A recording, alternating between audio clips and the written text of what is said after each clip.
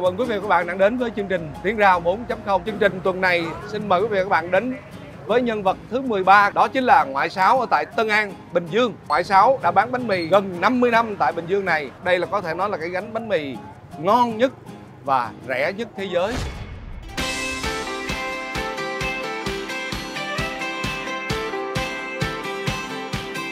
Vừa bán vừa ăn luôn. Rồi mua ổ trăm ngàn luôn. Em mua hai ổ. Ôi hai ổ một triệu luôn. Wow đây toàn là mối của ngoại không à. Hết bánh mì rồi hết bánh mì rồi. Tổng ờ, doanh thu bán hàng ngày hôm nay cũng là kỷ lục cao nhất. Của tiếng rau 4.0